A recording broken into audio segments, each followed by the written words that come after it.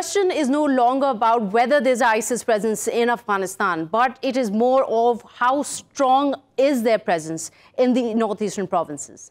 Uh, thank you very much for the question. Uh, I believe that uh, uh the peace talks that are going in Afghanistan, uh, these are definitely uh, affecting the other fighters or the other fighting groups that are existing in Afghanistan.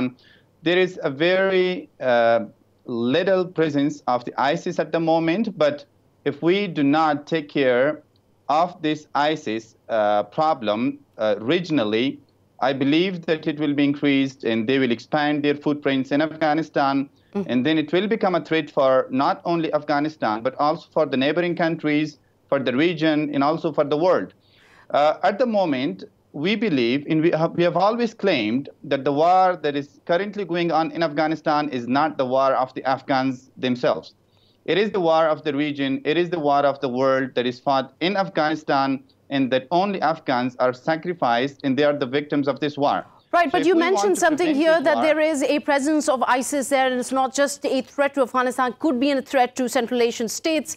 But isn't this a confirmed fact that the presence of ISIS right now in Afghanistan, having been defeated from Syria and Iraq, have repositioned and re-strengthened their positions there in Afghanistan? So they already exist as a risk to Central Asian states there is there is the uh, some signs of uh, ISIS in Afghanistan these days, and they have some very low number uh, of attacks uh, in different cities, especially in Kabul, in, in Jalalabad. Well, there are various city. intelligence so, reports that confirm just alone from 2015 to 2017, there were over 60 attacks. In fact, in 2017 alone, all the civilian deaths, 22% were attributed to ISIS. So that doesn't sound like exactly, a very low number. Exactly. Exactly. Then they were fought by uh, they were fought back by the Afghan military and security forces, and they were tackled. Uh, they were all almost eliminated.